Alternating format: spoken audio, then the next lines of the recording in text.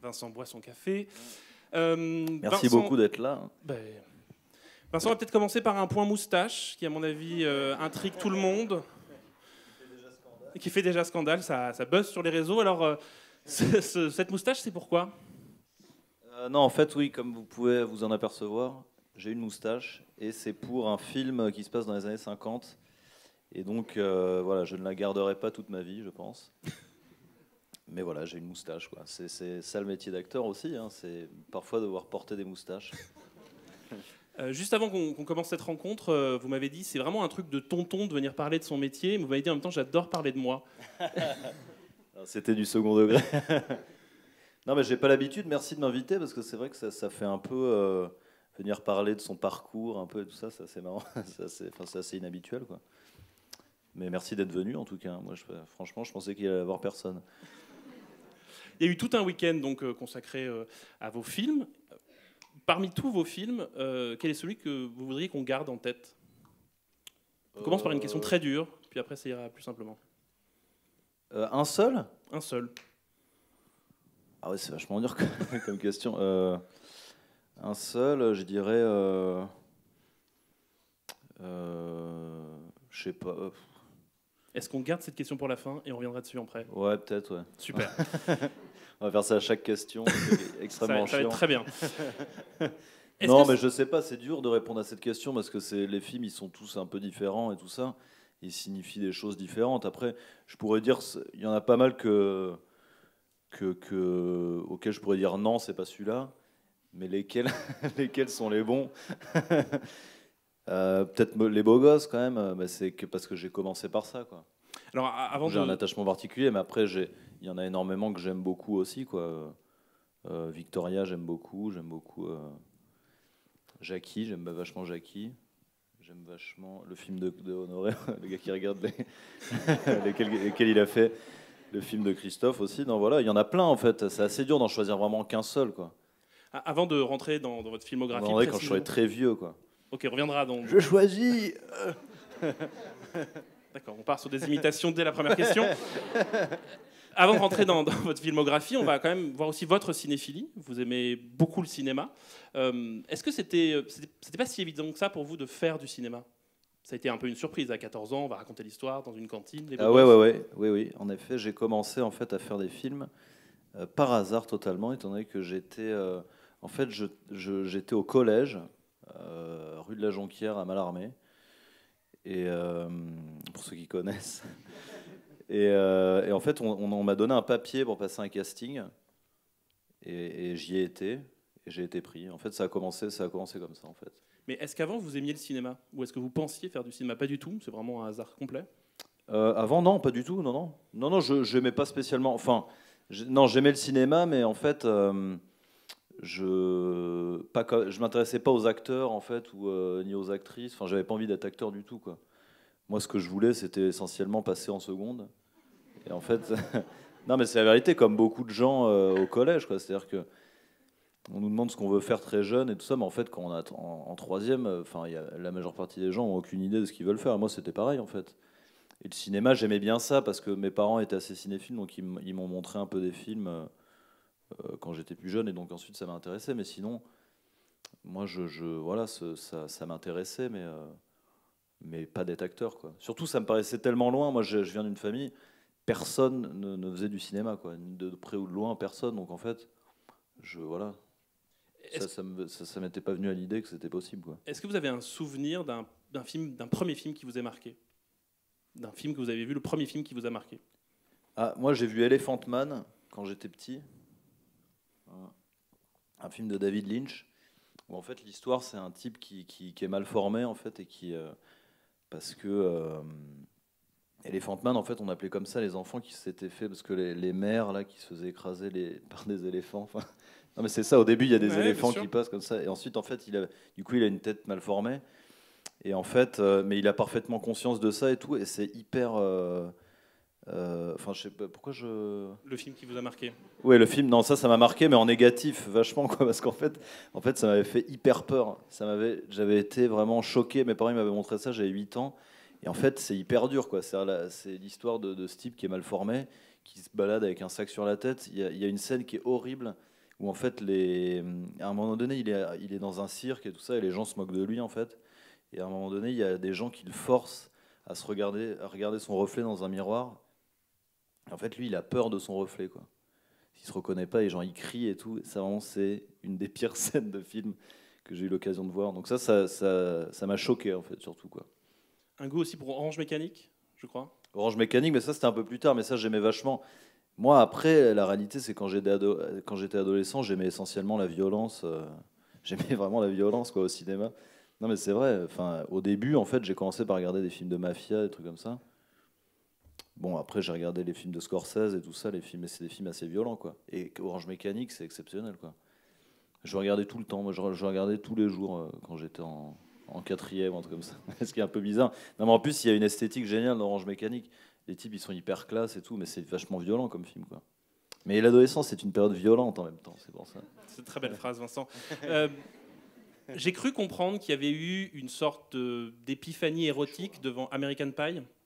De quoi D'épiphanie érotique, de, de- de révélation érotique devant American Pie. Est-ce que c'est vrai Ah ouais. Ah la vache, les, les questions. en effet, en effet. euh, c'est un peu délicat comme. Non, mais c'est pas, c'est pas, c'est pas. Il n'y a pas une révélation érotique. Non, mais c'est. Je sais plus ce que un- c'était. une, pas- une scène importante de, de votre cinéphilie. Non, ça n'a pas été une scène importante. Ça a été. Je sais plus dans quel journal on m'avait posé une question sur euh, un éveil érotique au cinéma. Et en effet, un jour, j'étais en train de regarder Mulan euh, avec ma sœur, avec ma petite sœur. Et en fait, et en fait, enfin non, j'étais censé mettre Mulan. Et en fait, C'est une belle anecdote, hein, vraiment. euh, non, mais en fait, non, en fait, il y, y avait, en fait, il y avait American Pie à la télé. Il y avait une scène extrêmement érotique où, où, euh, en fait, il y avait une nana qui s'apprêtait à, à coucher avec un garçon, quoi. Et, euh, et en gros, c'était ça, quoi. Et, euh, et moi, j'étais incroyablement fasciné. J'avais jamais vu ça. Du coup, j'étais comme ça. Et ma soeur me disait, oh, mais Mulan et tout. Je disais, non, non, arrête. Attends, euh, attends deux secondes. Après, il y a ma mère qui est arrivée, qui a dit, et alors, pourquoi tu mets pas Mulan Et qu'est-ce qui se passe? Ma mère Alexandre du Sud. voilà. Merci une pour belle cette belle anecdote. Vincent. Bon, on va quand même passer à chose belle masterclass. on apprend de belles choses. Non, on va quand même œuvre. passer par un moment un peu plus classe quand même. Vous avez une admiration absolue, un, un déshabillage de Vincent Lacoste en même temps. Vous avez une admiration absolue pour James Stewart. Oui, c'est vrai qu'il fait chaud. Vous avez une admiration absolue pour James Stewart. Ouais, j'aime vachement James Stewart. Euh, ouais. non, j'aime vachement James Stewart. Non, c'est un acteur que j'aime beaucoup parce que il est. euh, Déjà, il me fait penser à mon papy un peu, franchement. Il, il me fait penser à mon papy. Bah, Mais- Très bien, on va regarder un extrait du Papy de Vincent Lacoste. C'est l'extrait de Vertigo. On va regarder la bande-annonce de Vertigo, puis après on va parler de James Stewart, le Papy de Vincent Lacoste.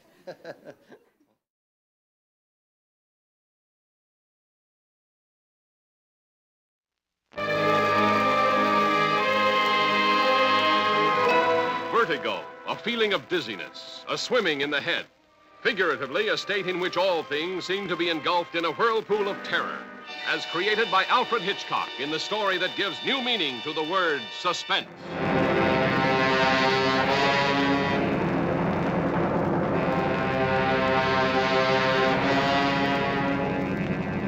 I don't want to die. There's someone inside me, and she says I must die. Scotty, don't let me go.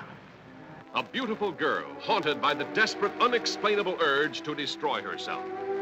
A man possessed by the paralyzing vertigo that made him afraid of high places. Easy now. Oh no, oh no.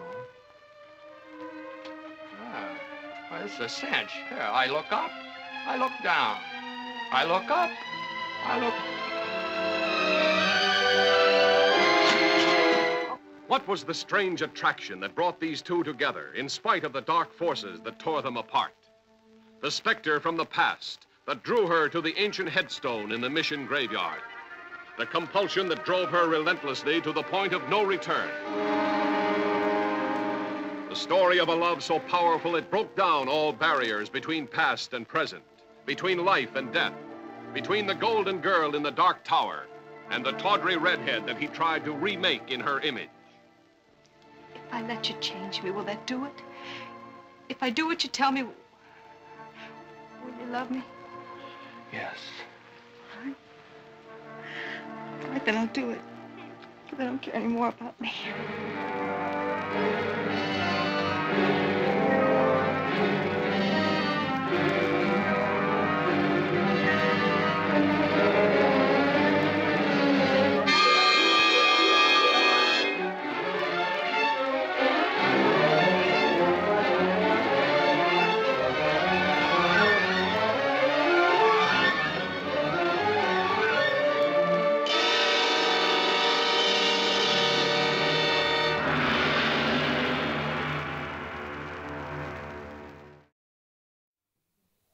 Donc ce papy Vincent Lacoste, euh, qu'est-ce qui vous plaît tant chez James Stewart?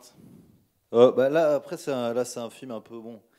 Vertigo, c'est pas très marrant, mais. euh, mais moi, j'aime beaucoup son humour déjà. J'aime bien sa tête, en fait. Moi, j'aime bien les acteurs qui ont. Qui ont je sais pas quoi. Pas qui sont toujours pareils, mais qui. qui, qui Enfin, lui, il a un espèce de truc d'humour, il a, il a une espèce de candeur un peu que j'aime vachement, quoi. Vous avez dit, James Stewart, il est capable d'être drôle même assis sur une chaise dans Fenêtre sur cour, c'est ça?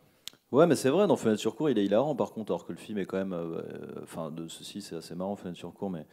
Mais, mais en fait, j'aime bien le. Déjà, j'aime bien les personnages qu'il a fait. Il a fait beaucoup de films avec Capra.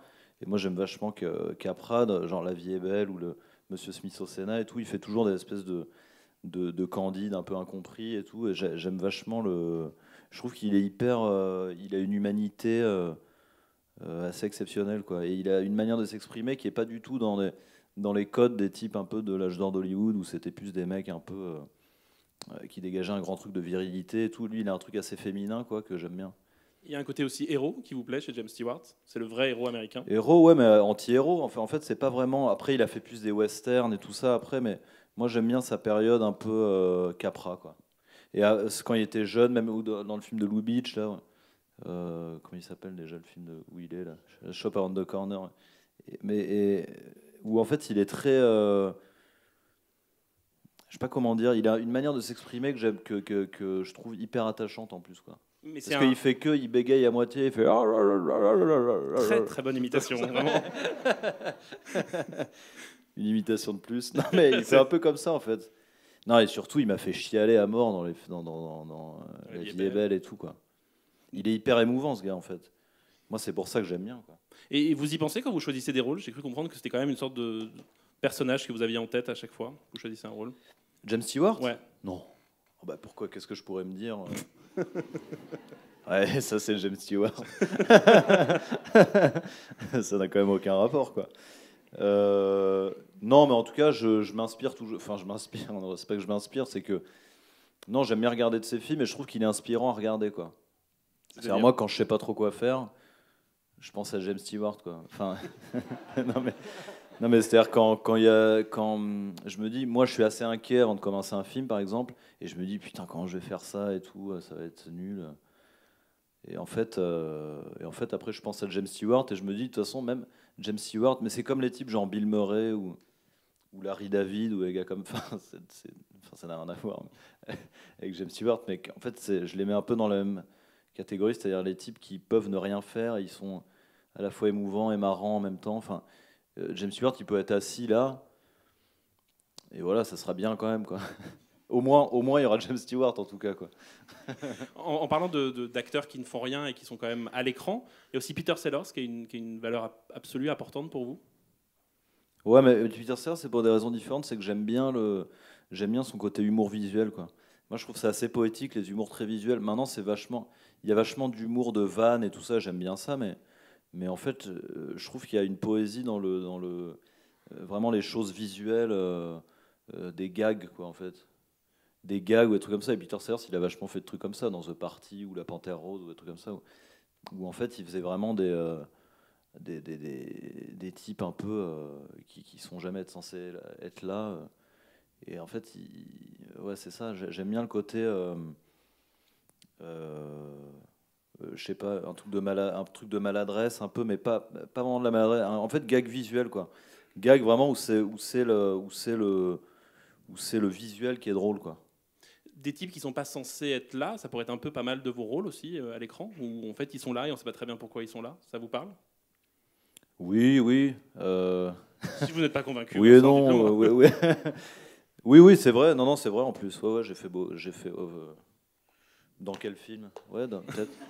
Bah, par exemple, dans, dans Victoria. Dans Victoria, ouais, ouais, dans Victoria, très clairement, ouais, ça c'est sûr. Mais après, euh... bah non, je bois beaucoup d'eau parce que je déteste en fait quand il y a des petits bruits de bouche euh, dans les micros des gens qui parlent. Euh, Gars hyper névrosé qui. Euh, On répond à la question ou pas on répond à la hein. question, on répond à la que- Non, non, mais en fait. euh, euh, Non, non, non, je. je, ben oui, en fait. Mais c'est difficile à répondre comme question, quoi. Non, mais c'est-à-dire que, en fait. Enfin, si, ceci dit, ouais, j'ai j'ai peut-être déjà fait ça, mais en fait, je m'en rends même pas compte, en fait. C'est-à-dire que. Parce que moi, je choisis les films, déjà, en grande partie euh, pour les cinéastes. Et ensuite, et ensuite, je regarde quand même le rôle. Mais, euh, mais en fait, je sais pas comment dire, il n'y a pas un truc qui me frappe. euh, mais euh, après, force est de constater que oui, en fait. ça veut rien dire cette réponse. Est-ce que, euh, Est-ce qu'on peut recommencer Ben, depuis nous- le début est-ce que vous- avez aussi conscience, et vous avez eu conscience très tôt de votre pouvoir comique, comme là? Bah non, mais je- là, je fais des blagues. Attendez, c'est pour ça. C'est bossé, c'est ça? C'est extrêmement travaillé. Non, non, mais en fait, bah, enfin, non, ce que je me rendais compte, c'est que les, les, euh, c'est pas un pouvoir comique, c'est, je pense, que j'ai une manière un peu bizarre de m'exprimer. Et en fait, à l'école, par exemple, dès que je lisais un texte ou un truc comme ça, tout le monde se marrait, mais parce qu'ils se moquaient un peu aussi. Parce que, enfin, ils se moquaient, non, ils se moquaient pas vraiment, mais en tout cas, ils trouvaient ça marrant que moi, je lise ça, en fait, ou euh, quelque chose dans cet ordre d'idée-là, quoi. Parce que j'avais l'air un peu mou, ou un truc comme ça, quoi Pas du tout. je pense. non, mais j'étais. En fait, il y a. Non, mais moi, quand je suis stressé, en fait, j'ai l'air extrêmement mou parce que c'est comme une barrière. C'est comme les. C'est comme les petits, euh, les petits animaux, les petits lézards qui, qui se mettent, euh, qui sont sur un tapis rouge, ils se transforment en rouge, quoi. Moi, c'est pareil, sauf que je deviens mou. non, mais en fait, il y a. c'est pas que je deviens mou, c'est qu'en fait, je deviens comme s'il n'y avait pas, pas de choses qui m'atteignaient, mais en fait, c'est parce que c'est quand j'ai du stress ou un truc comme ça, quoi. D'ailleurs, c'est pour ça que quand, quand, quand j'ai fait des films au début et tout ça, quand j'étais assez stressé, ben en fait, euh, on me filait pas mal de rôles d'ado, un peu et tout ça. et Je les faisais très bien parce que ça tombait bien. J'étais un peu stressé, du coup, j'étais extrêmement mou, quoi. Donc j'avais rien à faire. Ça veut dire quoi? Vous êtes, vous êtes une nature pure et qu'il n'y a pas de travail de comédie, de comique? Si, si, si. Non, mais ça n'a, non, mais ça n'a rien à voir. Attention.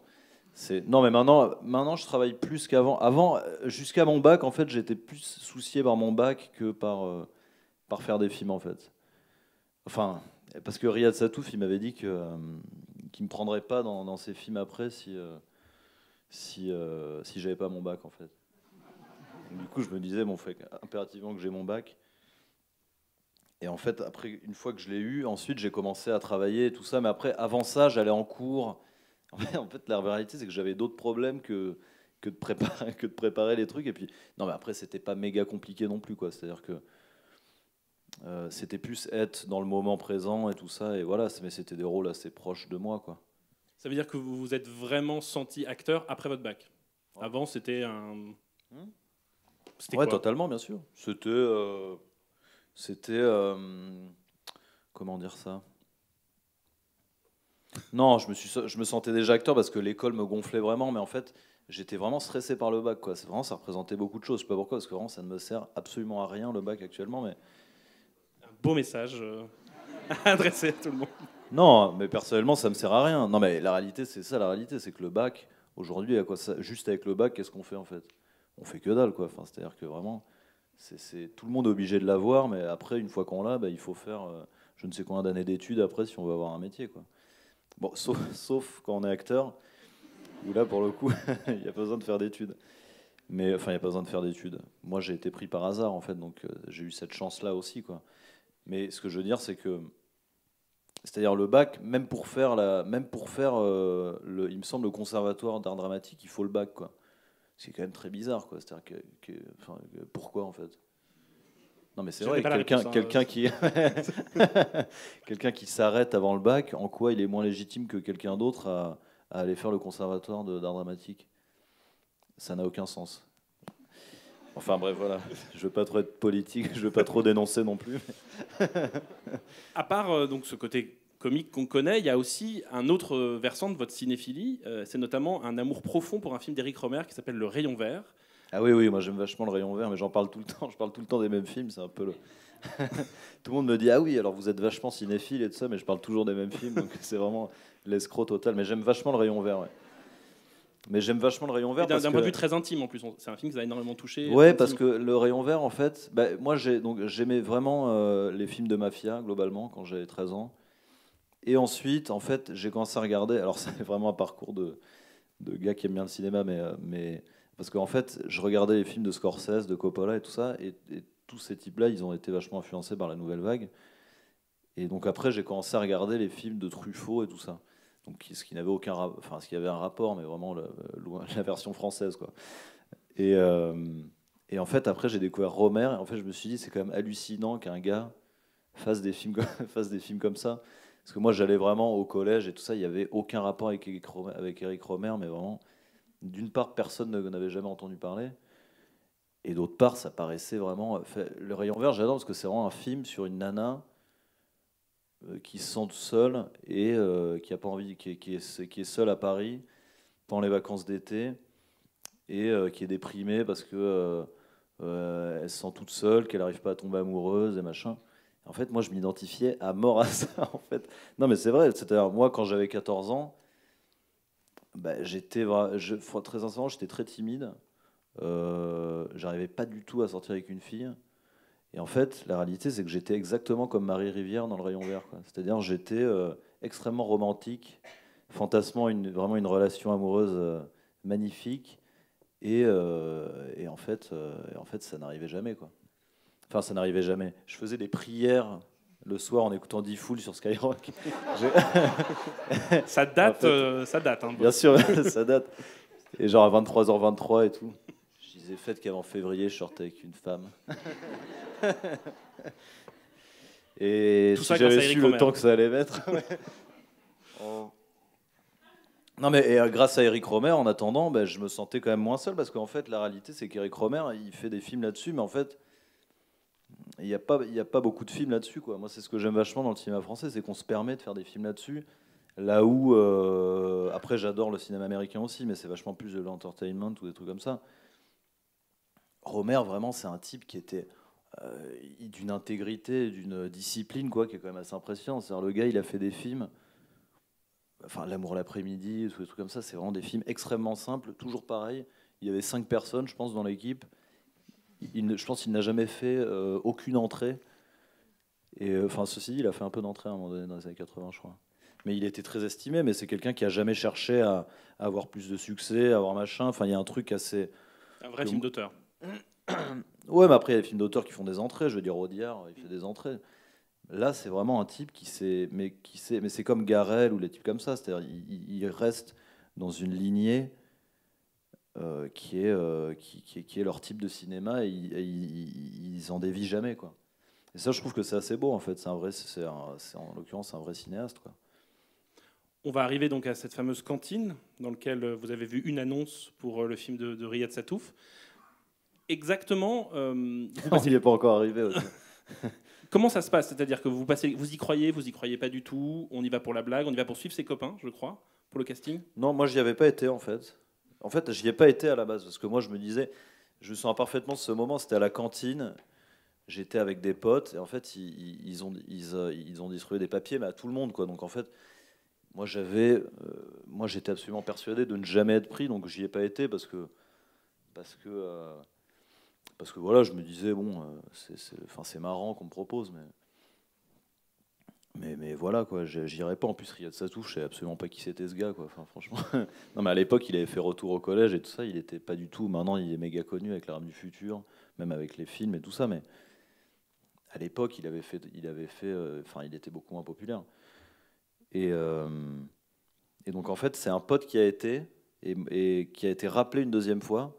Donc, je me suis dit, waouh, en fait, c'est possible. Si- S'il est pris, je vais être trop jaloux, quoi. Donc, en fait, je vais y aller aussi. En fait, c'est moi qui ai été pris au Truc pas final. du tout ça en fait. Si, c'était sain, mais enfin, non, mais Envie c'était de lui piquer la place. un peu. dès le départ, envie de compétition extrême. Oui, mais on est conditionné euh, à être compétitif hein, dans notre société d'aujourd'hui. Enfin bon, ce qui est le contraire, ce qui est le contraire de ce qu'Éric Romer était. bon, en attendant. en tout cas, oui. Enfin non, c'est pas que j'étais comme ça, mais moi je me souviens, j'avais passé un casting dans ma vie. Avant, c'était euh, la mère d'un copain à moi qui m'avait inscrit à un casting quand j'avais genre 8 ans. Et en fait, j'y avais été et je me souviens d'un moment de gêne intense, vraiment, c'était horrible, où on m'avait posé des questions. Et ensuite, il y avait une dame qui était partie et qui m'avait dit Alors maintenant, on va te laisser tout seul. Et tu peux faire ce que tu veux. Tu peux t'exprimer face à la caméra, tu peux faire ce que tu veux. Tu peux ne rien dire si tu veux, mais tu peux aussi faire des choses, danser, machin, parler, raconter ce que tu veux. Allez, je te laisse. Elle était partie cinq minutes. J'étais assis tout seul avec la caméra. Et en fait, vraiment, c'était un silence de cinq minutes où je n'ai pas bougé un seul doigt et je n'ai rien fait. Et en même temps, je pense que c'est une très mauvaise tactique. Enfin, j'en sais rien, mais bon, en tout cas, pour moi, c'était un échec total. Et en fait, je m'étais dit, à l'époque, je m'étais dit, c'était un, en, fait, je m'étais dit, oh là là, ma mère, peut-être qu'elle aurait bien aimé que je sois pris, en fait. Et du coup, je m'étais dit qu'elle avait été un peu déçue et tout par moi. Du coup, euh, hyper. Euh, c'est hyper émouvant. non, mais c'est vrai, en fait on n'a pas conscience des choses comme ça que ça peut faire. Mais en fait, c'est vrai que moi, j'avais aucune envie de faire ce truc. C'est la réalité. Sauf que le fait de ne pas avoir été choisi à cette époque-là, alors que je n'avais même pas demandé à faire ce, ça, je savais même pas ce que c'était le truc. Enfin, c'était peut-être un rôle pourri. qui sait À 8 ans, un petit enfant qui joue je ne sais où. Bon, en tout cas, et du coup, là, en fait, je pense que c'est pour ça que n'y ai pas été au départ. Parce que je me suis dit, non, mais c'est nul ces trucs, c'est bon. Et, donc, vous, y êtes allé? En fait, j'y étais, j'ai été pris. En fait, j'y étais. Et donc, la première fois, euh, euh, il y a eu un casting où il n'y avait pas Riyad. Et en fait, Riyad, j'ai rencontré la deuxième fois. Et en fait, j'ai cru qu'il euh, y avait le directeur du casting qui était là aussi, qui s'appelle Stéphane Mathieu et qui est un type assez barbu, comme ça. Et en fait, j'ai cru que c'était lui, Riyad Satouf, parce que Riyad, à côté, à l'époque, il avait 29 ans. Il était extrêmement imberbe. Il, avait, il, avait, il était tout rasé de partout, là. Et donc, il avait l'air hyper jeune, surtout, j'ai cru, cru que c'était pas du tout lui, quoi. Je suis assez, voilà le jeune assistant à côté de, à côté de Riyad Satouf, le grand barbu. et... ensuite, on a fait ça. Non, et ensuite, j'ai rencontré Sonigo à ce moment-là, celui qui fait Kamel. Et c'est comme ça que j'ai commencé, en fait. J'ai été pris au, au troisième rendez-vous. Il m'a dit euh, tes, parents ont-ils un problème avec les scènes de, de branlette euh Et ça, ça n'inquiète pas. Quand on a 14 ans, on y va euh, franco mm. En fait, je sais pas ce que je m'étais dit en lisant le scénario, mais franchement, je m'étais vraiment dit j'ai réalisé que j'allais être extrêmement laid dans le film quand, quand, au costume en fait. Avant ça, je pensais que, j'allais, que ça allait être classe. On va voir justement à quoi ça ressemble. Un extrait des Beaux Gosses avec euh, Vincent Lacoste, très très classe.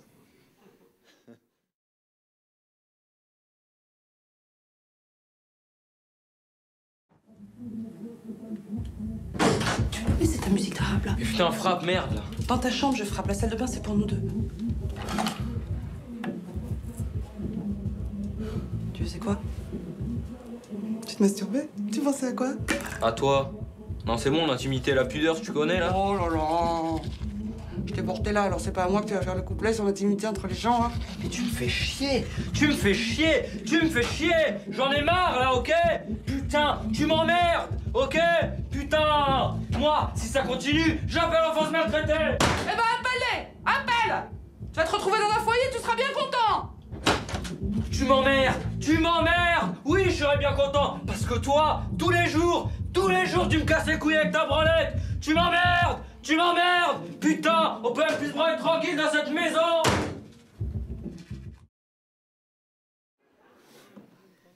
Un beau texte. C'était écrit. Hein. Comment vous le trouvez, ce Vincent Lacoste-là? Bah, Il est bien, je sais pas. il est très bien. Euh, il est. Euh, bah, je, j'en sais rien, je, suis jeune là, hein, là-dessus. Hein. c'est la réalité. Je vois que j'ai pris un coup de pioche quand même quoi, quand je vois ça. enfin, je sais pas si c'est. En même temps, je sais pas si. Euh, j'étais un peu maigrichon, quoi. Ouais. Je sais pas si c'est mieux ou. ouais. Mais non, mais c'est assez. En fait, je m'en souviens pas du tout. Enfin, si, je m'en souviens. Non, je dis n'importe. Je sais pas pourquoi j'ai dit ça. Pardon. Désolé. Je retire. Euh, comment je le trouve? Non, mais je me souviens du tournage. Euh, voilà, c'est marrant de revoir ça, quoi, parce qu'en fait, euh, bah, en fait, quand les, beaux gosses, franchement, je me reconnais pas trop dans les beaux gosses, quoi. Je me reconnais pas trop personnage parce que c'était quand même il y a longtemps. hein. D- d- D'ailleurs, il y a des gens des fois qui me reconnaissent dans la rue qui disent Oh putain, c'est le gars des beaux gosses, machin. Et je me dis Putain, mais c'était il y a 10 ans. Moi-même, je- comment ils font pour me reconnaître là? Enfin, pareil, moi je trouve que vous avez changé. En fait, absolument pas. J'ai toujours cette tête pareille, la même coiffure. Justement, à, à 14 ans, euh, est-ce qu'on a le second degré pour se rendre compte qu'on va être ça à l'écran? Non, non, absolument pas. Moi, j'étais scandalisé. hein. C'est- vraiment Riyad qui me disait.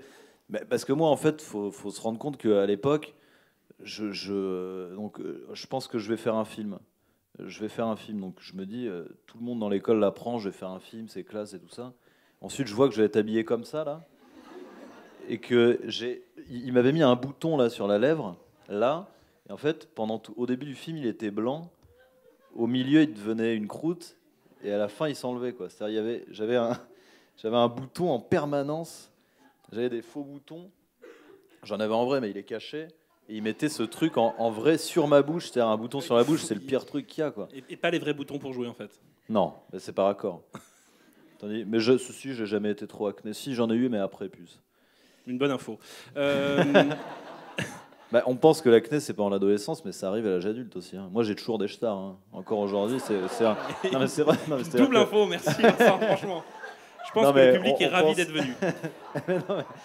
Non, mais il y, a- il y a un gros malentendu là-dessus. C'est-à-dire, quand on est adolescent, on se dit euh, Ouais, non, t'inquiète pas, les boutons à 18 ans, ça part avec. euh, ça coïncide au moment où t'as une carte bleue et machin. Pas du tout, ça reste jusqu'à 30 ans. c'est Peut-être un conseil dermato pour où on en est, un truc, euh, non? Bah, pas vraiment. Les, les, les huiles essentielles, je vous conseille. Merci Vincent. Le titri. J'ai cru comprendre en fait que vous aviez fait une bêtise avant le tournage, vous étiez allé à un concert de rock et vous étiez blessé. Ouais, ouais, ouais, je m'étais pété le genou trois, euh, trois jours avant. Non, Hmm. non peut-être. Euh, non, trois jours avant le tournage. Non, non, trois jours avant de partir sur le tournage. Alors que vous avez interdit d'y aller. Je m'étais cassé le genou. On m'avait pas interdit d'y aller, non, non. Ils étaient pas au courant, mais j'avais des potes qui faisaient un concert. C'était la, pre- la première fois que je suis sorti tout seul de ma vie. C'était un concert de potes euh, vers Place de Clichy. Et euh, c'était un espèce de groupe un peu de punk et tout. Ils faisaient des reprises. Et, et j'y étais, j'ai fait un pogo et je me suis pété le genou, mais direct, quoi. Et en fait, et en fait, j'ai dû faire. euh, Et donc, et le lendemain, je pouvais plus marcher. Je me suis pas pété le genou, je me suis fait une subluxation de la rotule. C'est-à-dire qu'en fait, j'ai. On est très précis. hein, vous avez- je me suis luxé, c'est-à-dire la rotule est partie comme ça. Et quand, quand je dansais, ensuite, j'ai redansé et je, ça l'a refait. Et donc le lendemain, évidemment, je pouvais plus marcher. Et donc Riyad est arrivé. J'ai dit à Riyad, ouais, je peux plus marcher. C'était un drame absolu. hein. Je rigole, mais c'était un drame. J'ai cru que j'allais jamais faire le film, en fait, parce que vraiment, j'étais totalement remplacé. D'ailleurs, tout le monde voulait me remplacer à part Riyad. Et, en fait, euh, on a été voir une magnétiseuse avec Riyad. qui m'a... Ça n'a absolument pas marché. Et... ensuite, on m'a fait une ponction, en fait. On m'a on m'a retiré euh, plein de sang du genou et j'ai une attelle pendant tout le film. Dans le film, j'ai une attelle, c'est pour ça que j'ai une démarche un peu bizarre. Alors que tout le monde croit que c'est de l'acteur studio. Alors, Oh, pas du tout, c'est, c'est juste que je pouvais pas marcher. Et d'ailleurs, c'était. Et en fait, je pouvais pas plier la jambe, j'étais comme ça pendant tout le film. Et il y a des scènes qui. où la mise en scène est hyper bizarre. Où avec, il, y a, il y a une scène où Sonigo est sur ma jambe, comme ça.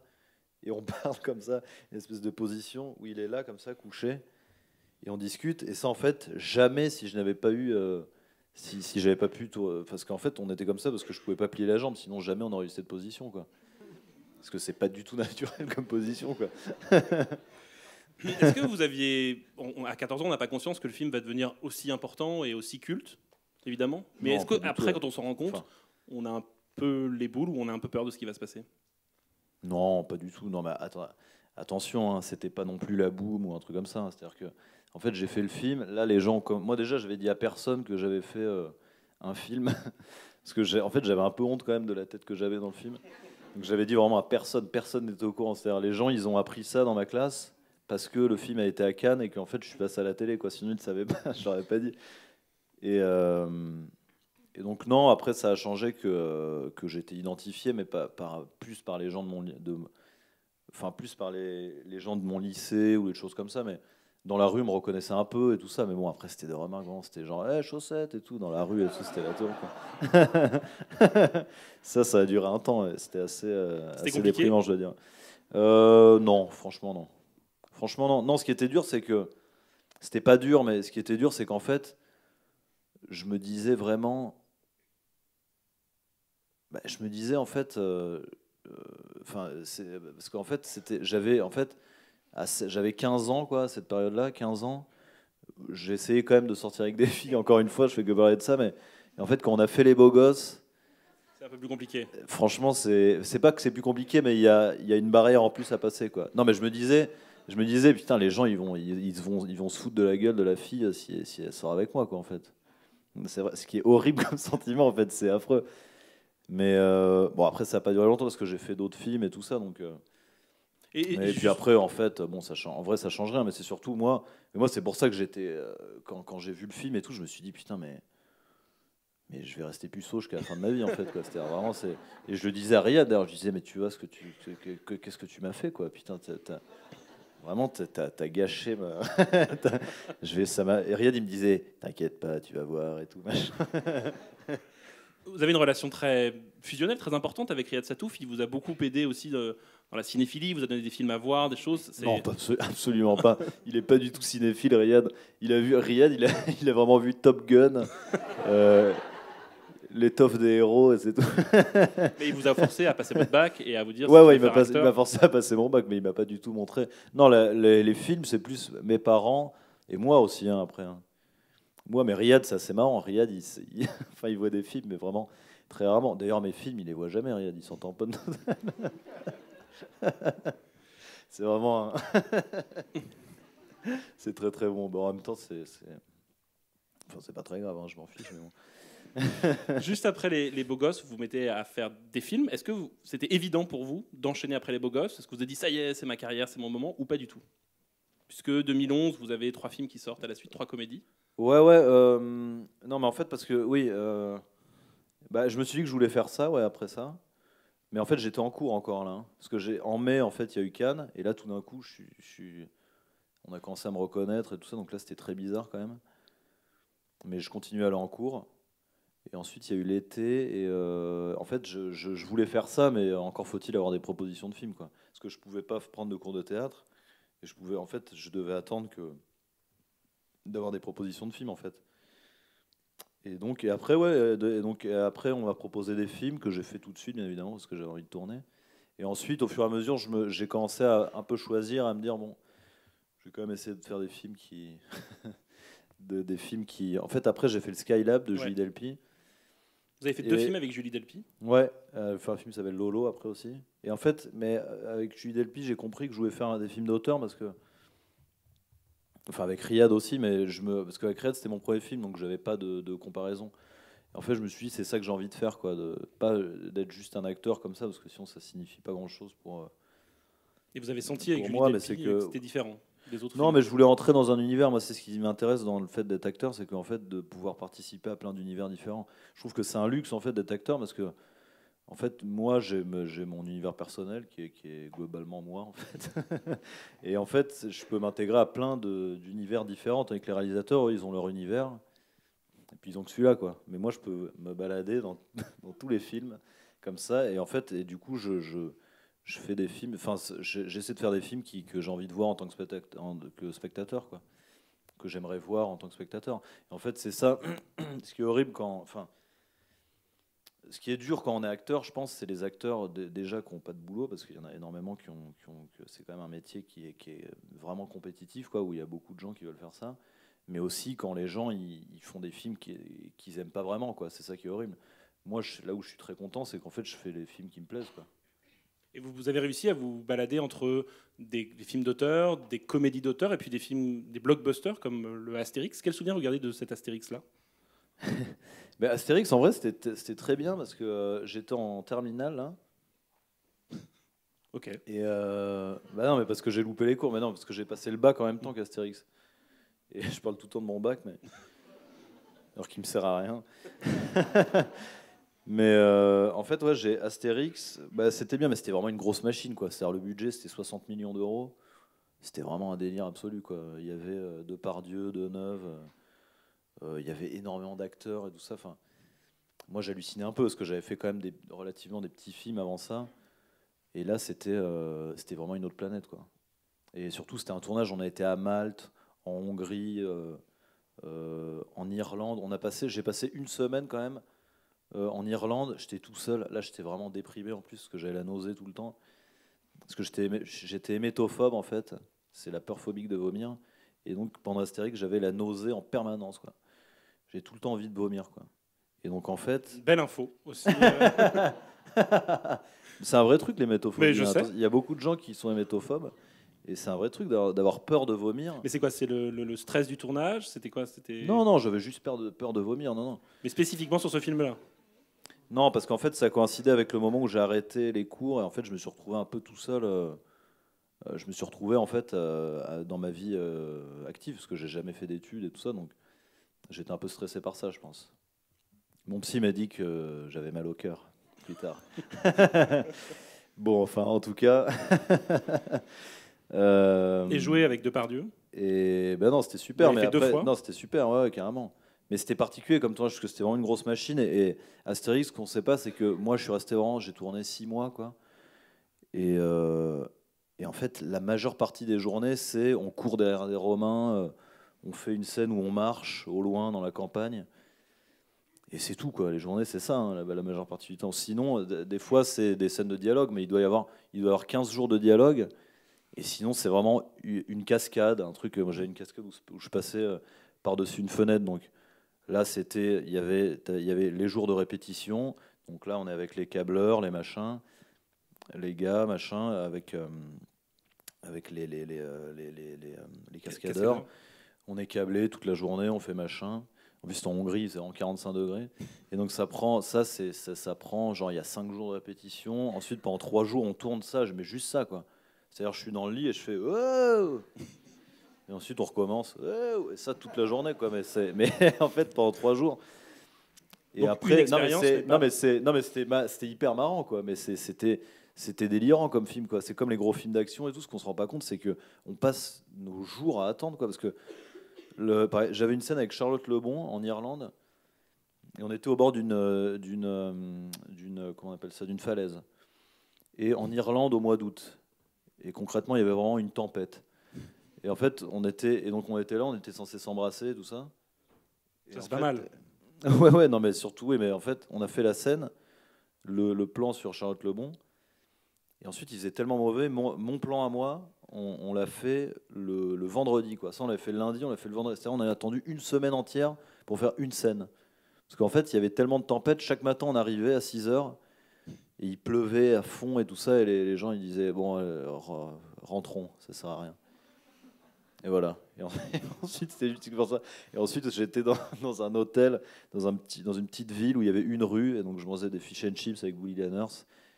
Et voilà, je buvais des bières brunes. Et on allait à la piscine aussi. Mais en fait, j'ai vraiment le souvenir d'attente énorme. Mais c'était marrant, c'était c'est- assez marrant. Quoi. Et donc après ce, ce passage vers le, le blockbuster, vers Astérix, vous retrouvez la, la famille des beaux gosses, Nomilovski dans Camille Redouble, puis, euh, puis euh, Riyad Satouf avec Jackie au Royaume des Filles. C'était une manière de Ouais. vous recentrer aussi sur ce que vous aviez envie de faire?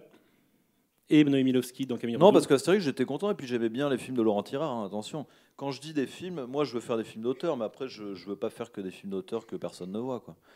Euh, dans l'idée, j'aimerais bien faire des films que. Non, mais c'est vrai. Euh, Mais euh, après, oui, j'étais content. Bah, Noémie, j'étais content de faire un film avec elle, mais ça c'était directement après Astérix. Ensuite, j'ai fait une pièce de théâtre avec Édouard Baird. Qu'est-ce qui vous a appris, Edouard Baird, au théâtre? Euh, Oula Bah, déjà le théâtre, parce qu'en fait j'avais jamais fait de théâtre. Et euh, bah, ça c'était vraiment marrant parce que c'était vraiment une ambiance de troupe et tout ça. Et on a fait une tournée dans toute la France. C'était vraiment marrant. Mais le théâtre c'est un rapport très différent, euh, euh, très différent euh, au jeu et tout ça parce qu'en fait c'est vraiment, c'est vraiment sur le moment. C'est comme là euh, quand, quand, quand, quand je dis un truc et que, et que, et que vous riez des fois, pas toujours. Et en fait, mais au théâtre c'est pareil, c'est-à-dire les réactions elles viennent directement. Au cinéma on fait le truc on le refait dix fois, ensuite euh, on a fini la Et journée. Ça vous a amené de la club. confiance de, de monter sur scène avec euh, Edouard Baird, non, à la française? Une confiance en vous? Pas, oui, pas au cinéma, je pense. Enfin, euh, mais ça m'a fait, non, ça a fait que j'aime bien. euh, j'ai beaucoup aimé faire du théâtre en fait, mais après je, je- on m'en propose moins, donc c'est pour ça que j'en fais pas. Mais puis après, moi, la vraie vérité, c'est que je m'intéresse quand même plus au cinéma, quoi. Mais euh, j'aime beaucoup le théâtre aussi. Après, est-ce que ça m'a fait prendre confiance? Le- Ce qui m'a fait prendre confiance, c'est tout en fait. Quoi. Enfin, c'est le fait de, de faire des films. Quoi. Donc, vous retrouvez euh, Riyad Satou dans un film qui s'appelle Jackie au Royaume des filles, qui est un film très singulier, très étrange. Échec énorme euh, au box-office.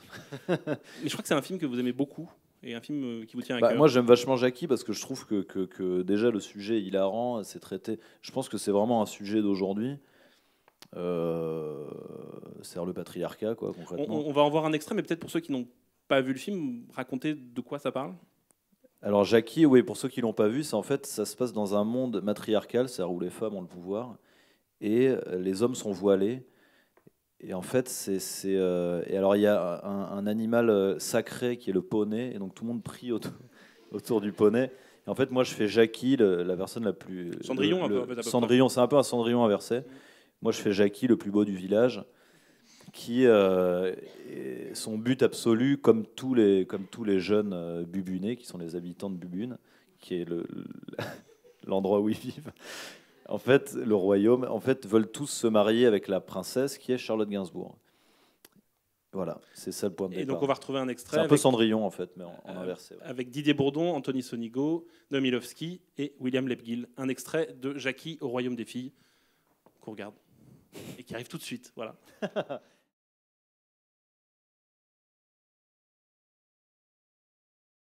Colonel, si belle, en habit d'hirondelle, voici à votre intention la poignée de mon leçon. Est-ce que tu vas chercher tout ça, mon chéri C'est éblouissant. C'est vrai Oh.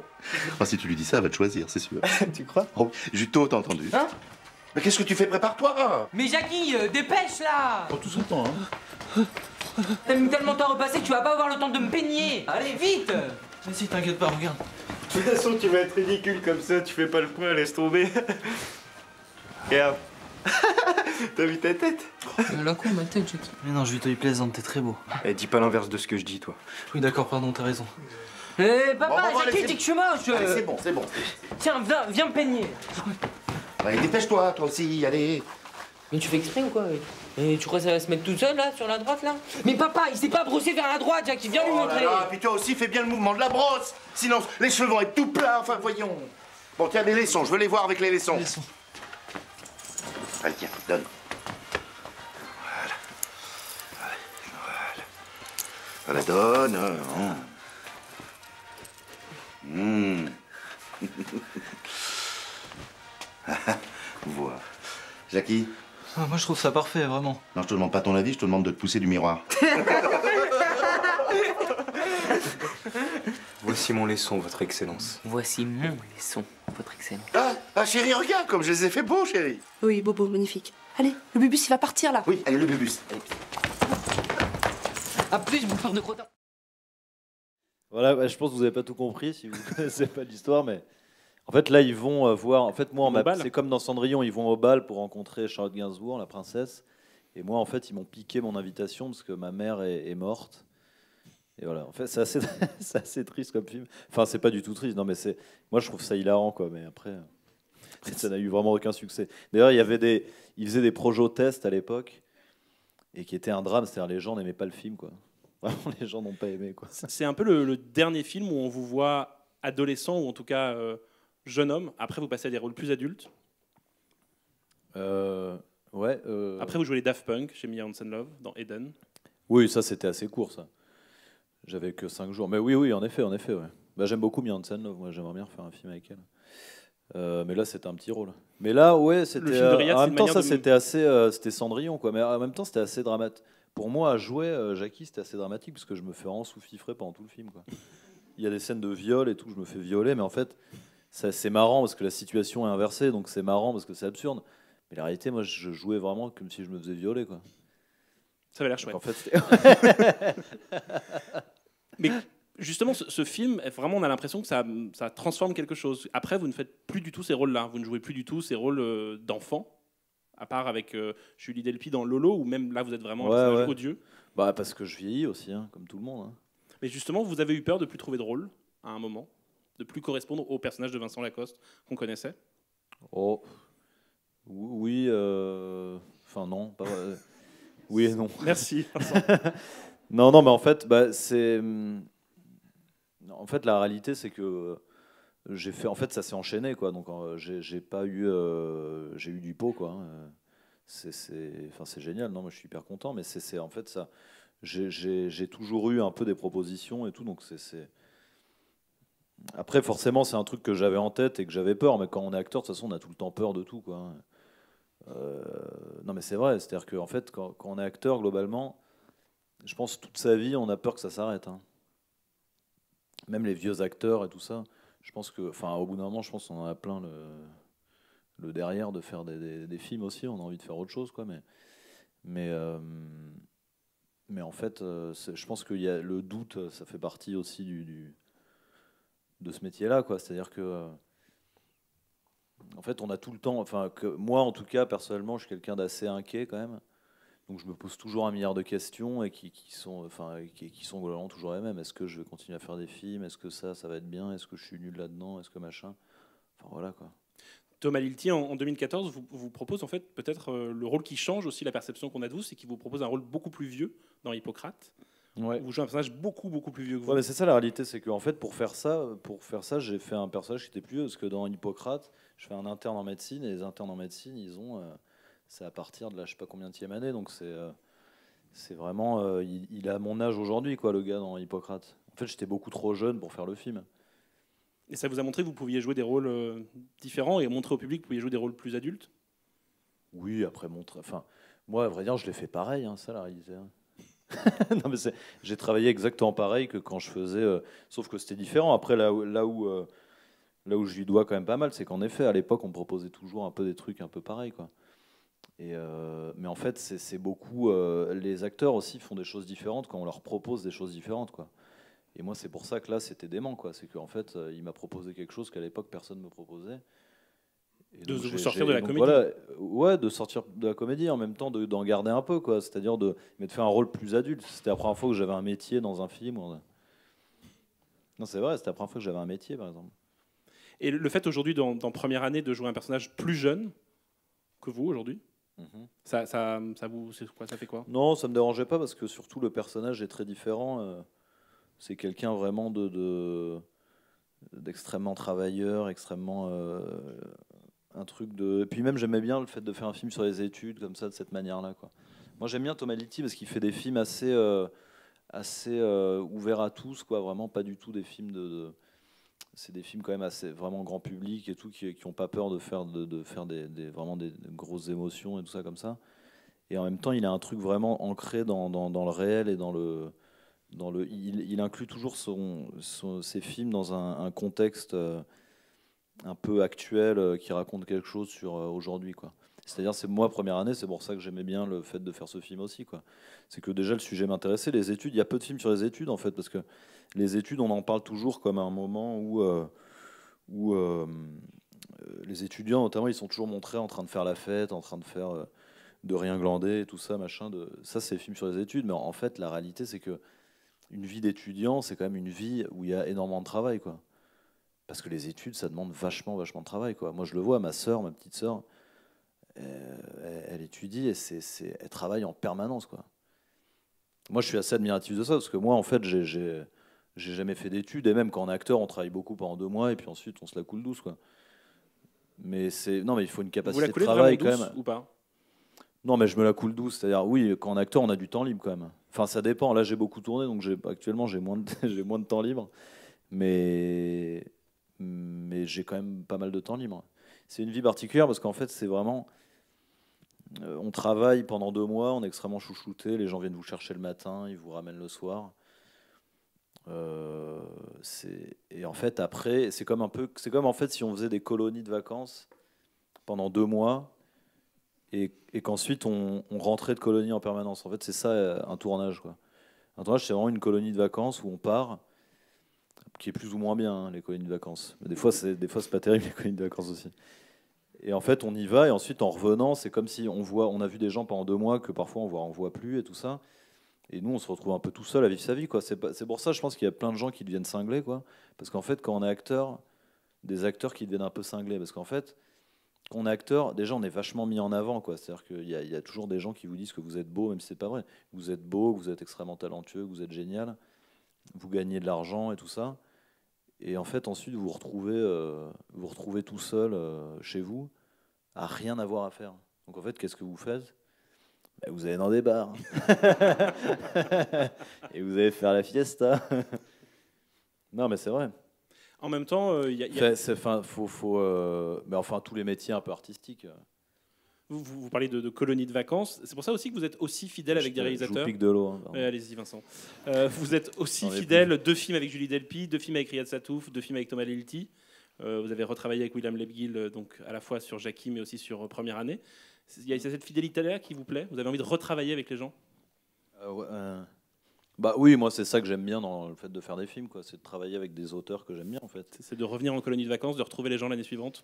Non, mais après c'est plus les colonies de vacances, c'est sympa, mais moi j'ai, j'ai, euh, enfin oui, euh, d'une certaine manière oui, mais quand j'ai bien aimé travailler avec quelqu'un, après si très sincèrement, si j'ai bien aimé travailler avec quelqu'un et que le film est vraiment un bousin, je pense que je vais euh, je vais pas je vais pas retourner dans cette colo de vacances là quoi, même si elle était chouette parce que j'ai, j'ai, j'ai envie de faire des enfin j'essaye de faire des, des, films bien quoi, ou en tout cas qui me plaisent à moi quoi.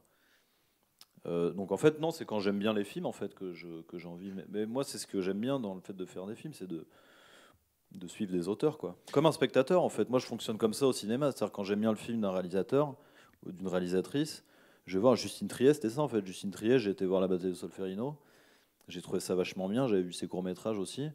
Et quand elle m'a proposé son film, je me suis dit, euh, Victoria, je me suis dit, bah ouais, j'ai hyper envie de faire un film avec elle. Mais- parce mais- que je vais voir ses films en salle. Mais ça fait- vous arrive spontanément de, de croiser un réalisateur, de lui dire j'ai envie de bosser avec toi, ou de lui écrire, ou de. Non, ça, j'ose pas trop encore. Ça, j'ose pas trop. Enfin, j'ose pas trop. Et là, par exemple, si Non. vous deviez en- envoyer un message à un réalisateur pour bosser avec lui, ce serait qui? Ben, moi, j'ai toujours voulu envoyer une lettre à Koris Maki. Parce que je, je suis vraiment un méga fan de Aki Kaurismäki, qui est un réalisateur finlandais qui, qui a l'air parfaitement hilarant en plus. Enfin, il a pas l'air commode, mais, il mais en fait, j'adore ces films. C'est espèce de film un peu. euh, comment on pourrait. euh, je je sais pas comment on pourrait définir ça, mais c'est un Humour peu absurde, comme- un peu Triste Humour absurde, un peu. Ça fait un peu, oui, c'est ça. Humour un peu absurde. Ça fait un peu. Fassbinder, mais, mais plus euh, finlandais, quoi. Enfin, je sais pas comment dire. Ça donne bien Il y a- envie, je Non, mais il y a un côté hyper austère et en même temps hilarant. Un quoi. film à conseiller de Koris C'est magnifique. Euh, moi, j'aime bien. Alors, j'aime bien L'homme sans passé, mais mon préféré, c'est. euh, c'est euh, merde, comment il s'appelle? J'aime vachement La fille aux allumettes aussi, mais Ariel. Ariel. Moi, mon préféré, c'est Ariel. Un des, des années 90. Et ou celui avec Jean-Pierre Léo, et qui est très bien aussi là. J'ai engagé un tueur, ça c'est très bon. En fait, c'est un gars. J'ai engagé un tueur, c'est l'histoire d'un type, Jean-Pierre Léo, qui engage, euh, qui, qui, en a, qui en a. En, général, chez Coris Maki, les, les gens en ont toujours plein, le- plein le cul, quoi, et ont envie de se suicider, quoi, globalement. Et Jean-Pierre Léo, c'est ça. Et en fait, au début, il dit Allez, j'en ai marre, là, c'est bon, j'ai envie de me tuer, mais j'ai pas le courage, donc je vais engager un gars pour me tuer. Et donc, il engage un type qui est censé le tuer, mais il sait pas trop quand, et tout ça. Il dit juste Tue-moi à un moment donné, voilà. Et sauf qu'après, sauf qu'une fois qu'il est engagé, bien évidemment, en fait, il se rend compte qu'il n'a pas envie de mourir. Donc en fait, donc en fait, il essaie de l'esquiver, quoi. Ce qui est quand même une idée assez géniale, je trouve. Et c'est toujours un peu comme ça. Ariel, ça commence. C'est, euh, je sais plus c'est son père ou euh, au début, y a, y a- y a- la première scène est géniale. C'est il y a deux gars dans un café et il y a un mec qui dit alors voilà mes clés, euh, ma voiture est dehors, moi j'en ai marre là, euh, je vais me suicider. Allez ciao. Ensuite il va au chiottes, on entend bam. Et là, et là, on Bonne voit- comédie, hein, pour euh. non mais c'est hyper, c'est fait d'une manière très marrante quoi. Il a un humour très, euh, puis c'est très beau visuellement. C'est, il, il a, il a vraiment inventé un truc de visuel assez beau quoi. Il a, il a eu des couleurs particulières et tout ça dans ses films. C'est vraiment super Coris Maki. Et justement, le- l'humour absurde, le, le décalage, c'est c'est un peu votre truc. Moi, j'ai j'ai lu une interview dont le titre c'était Vincent Lacoste, je suis toujours d'accord pour lécher des appuis-têtes. Est-ce que vous Non, ça- m'expliquer oui, mais cette- ça, après, c'est à chaque fois qu'on fait une interview, on, a des, on se retrouve avec des citations. Moi, en plus, vu que je dis n'importe quoi la, plupart, la plus grande partie du temps, en fait, je me retrouve toujours avec des citations genre complètement débiles. mais en fait, c'est sorti de son contexte. C'est pour Saint-Amour, hein, de, de Saint-Amour, en fait, il y avait une scène où je devais lécher un, appui-tête, en effet. Et en fait, le gars, et en fait, je suppose que le gars, il m'avait dit, mais ça te dérange pas de lécher un appui-tête, c'est sale et tout, je sais pas quoi. Et moi, je lui ai dit, bah non, ils avaient mis une lingette, ça me, ça, ça me dérangeait pas de lécher un appui-tête, quoi. Tout s'explique. non, mais ou, ou alors même, je lui avais dit, non, ça vous dérange pas de déranger un appui-tête? Non, ça me dérange pas. et ensuite, ça, ça- ça se dérange en. Je, n'ai- je ne me suis jamais soucié de, de De lécher lécher, un appui-tête, ça ne m'a jamais dérangé. J'ai toujours trouvé ça superbe. On se dit que c'est qui ce gars en fait? Il est complètement débile quoi. On, on arrive à, à- à Victoria, qui est un, un film où, pour la première fois, euh, Vin- Vincent, vous êtes euh, le love interest, vous êtes euh, le héros de comédie romantique. C'est ça qui vous a Le plu love interest. Le love interest. Ouais, mais dans Jackie, j'étais le love interest aussi, c'est pour ça que. Moins, euh, moins glamour. Bah ouais, mais j'ai quand même signé le blouson d'un Géorgien qui était persuadé. Parce qu'à un moment donné, je suis déguisé en femme dans le film et j'ai croisé un Géorgien. Il était un peu bourré. hein. Il était persuadé que j'étais Charlotte Gainsbourg. Parce qu'en fait, il a- en fait, en fait, il avait entendu dire que qu'elle était en ville, quoi. Et il était persuadé que j'étais Charlotte Gainsbourg et donc il était comme ça avec son blouson en cuir. Il me disait Can you sign it for me? Et tout machin. Et moi je disais non. Troisième ah, imitation, hein, I'm not, I'm not Charlotte Gainsbourg et tout. Et j'ai fini par lui signer Charlotte Gainsbourg sur son blouson. Revenons donc à Victoria. Oui, pardon. C'est la première fois qu'on vous vrai voyait. que ça, ça, C'était n'a- ça n'en fait pas une comédie romantique pour autant. Euh, c'est la première fois qu'on vous voyait aussi, euh, aussi adulte, aussi sexy. C'est ça qui vous plaisait? C'est bien gentil. Euh, C'est cadeau. C'est ça qui me plaisait, bien sûr. Non, mais Euh, c'est- pour non, ça qu'elle vous a faire un choisi, film avec Justine. Trier. J'étais très content de faire un film avec Justine Trier, en fait. Et, euh, et non, je sais pas. En fait, à vrai dire, ouais, ouais, c'est vrai. En fait, euh, en fait, j'avais même pas remarqué en fait que ça, que. euh, Alors, sur l'affiche, que vous faites un peu peur, vraiment- mais- que c'était vraiment une comédie romantique. Enfin, c'est pas vraiment une comédie romantique, Victoria, quand même. Ça Mais Moi, je le trouvais assez beau le personnage parce qu'en fait, il commence comme ça, ensuite, il se révèle un peu, quoi. Au début, mais moi, Monsieur Mallet, je le trouvais hilarant. Au début, Monsieur Mallet, on avait mis les petites lunettes et tout, c'était Mm. assez marrant, quoi. On, on va voir un, un extrait de Victoria. Vous allez voir tout de suite, on voit qu'il est amoureux de, de Victoria. Un extrait de Victoria de Justine Trier.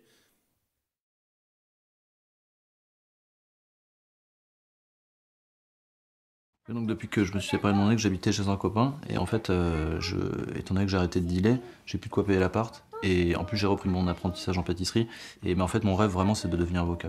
D'accord. Mais euh, là, entre la drogue, la pâtisserie, l'avocat, euh, c'est un peu. Tu vois? Oui non non, en fait c'est très simple. En fait j'aimerais bien euh, commencer les études d'avocat et en parallèle t'aider si t'as besoin. de- Allô? Bon, au prochain appel d'encouragement, je le lâche, ton cousin. Je peux dire qu'il aura du mal à trouver un autre avocat 24 heures avant l'audience. Ok? Qu'est-ce que tu veux? Bah, Peut-être que je peux être ton apprenti, enfin ton assistant personnel. Non, mais je te dis que je cherche un babysitter, moi. Oui mais ça inclut ça aussi. C'est-à-dire je pourrais être ton, ton, ton jeune homme au père. Là, t'as plus d'appart. Non, c'est vrai. Oui, mais entre autres, enfin, c'est pas du tout pour ça. C'est, je veux dire, en plus, je, je juge pas ton mode de vie. Tu peux Mm. laisser traîner tes petites culottes par terre. Je les ramasserai avec un grand plaisir. Je, non, enfin non, pas, pas dans ce sens-là. Mm. Je me suis mal exprimé. Oui. Je, ce que je veux dire, c'est que je pourrais être ton homme de l'ombre. Et je résoudrais tous tes problèmes sans que tu t'en rendes compte. Et ensuite, si tu veux, je peux aussi devenir ton assistant. Ce qu'on peut faire, c'est qu'on essaye une semaine. Ouais. D'accord? Ouais, bien Et sûr. si ça fonctionne pas, on arrête là. Ah non, bah, bien sûr. Ouais. D'accord. Ouais, d'accord. Eh ben, super. Ouais. Une semaine. Ouais, je peux. euh, où est-ce que je je m'installe? Bah, ici, en fait, c'est ton lit. Parce qu'il y a que deux chambres. Ah d'accord, non mais super. c'est- Ouais ouais, il est. Ouais, super. En revanche, je veux vraiment aucune espèce de drogue ici. Ah non oui, t'inquiète, non, je suis dans la phase clean de ma vie. Ouais. D'accord. Non là, ça y est, aucun souci là-dessus. Ok, parfait. Ce, ce Vincent-là, il est plus proche de celui d'aujourd'hui. Euh, ouais, bah ouais. d'ailleurs, c'était mes lunettes. euh, ouais, ouais, ouais, oui. euh, Bah oui, je sais pas. Enfin, je. Ouais, C'est- oui, bah, personnage très clairement, oui, parce que c'était il y a trois ans, donc ouais. Enfin, oui, oui, je pense que je ressemble plus au personnage de Victoria qu'au personnage des beaux gosses, quoi. Pour la première fois, Enfin, dans, ceci, je ressemble un peu à aucun des deux, mais. pour la première fois dans un film, vous êtes le personnage qui tient la route. Contrairement à Victoria qui va pas très très bien. Ouais, ouais, bien sûr. C'est la première fois que vous êtes un personnage qui tient la route. Il marche mon micro là Il, il marche. Ouais. J'ai l'impression de. Euh, ouais, ouais, en effet. C'est ça qui a euh, changé. Est-ce que vous avez senti que Justine Trier vous regardait différemment des autres réalisateurs? Vous n'étiez pas le personnage. Carrément, bien sûr, bien sûr. Bah, elle, déjà, elle a une vision assez, euh, assez géniale, quoi. Mais c'est assez marrant, quoi. Elle fait, mais surtout, elle, elle fait vraiment se sentir en confiance et tout ça. Et oui, euh, elle, a- elle m'a proposé un rôle un peu différent des autres aussi, quoi. Mais euh, non, non, c'était chouette.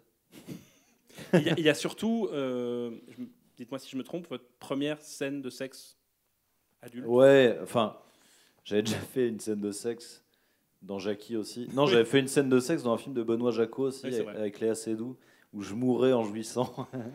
Un beau parcours. C'était un film très sérieux en plus. Mais là, Et c'est je mourais vraie- comme ça, je crachais du sang comme ça, je faisais ah comme ça. Euh, voilà, c'était ma scène de sexe avec Léa Seydoux. Et, euh, et non, j'avais déjà fait un peu des scènes de sexe, mais comme ça, non, en fait, parce que celle-là, elle est un peu romantique, en fait. C'est Ouais. surtout ça qui change. Euh, c'est un peu ça qui change, parce que dans Jackie, j'en avais une avec Charlotte Gainsbourg aussi. Mais je jouissais directement aussi. Et là, pour la première fois, Justine Trier. Et vous- là, non, et là c'était chouette, mais en même temps c'était assez amusant, quoi, parce qu'elle, elle était extrêmement stressée. La scène de sexe de Victoria, c'était marrant, parce que moi j'aime bien cette scène, en plus je la trouve assez jolie. Elle est très sensuelle. Elle est Ouais, très- ouais, ouais, ouais. Et euh, Le film est diffusé à 20h, donc je donne aux gens envie d'aller voir le film.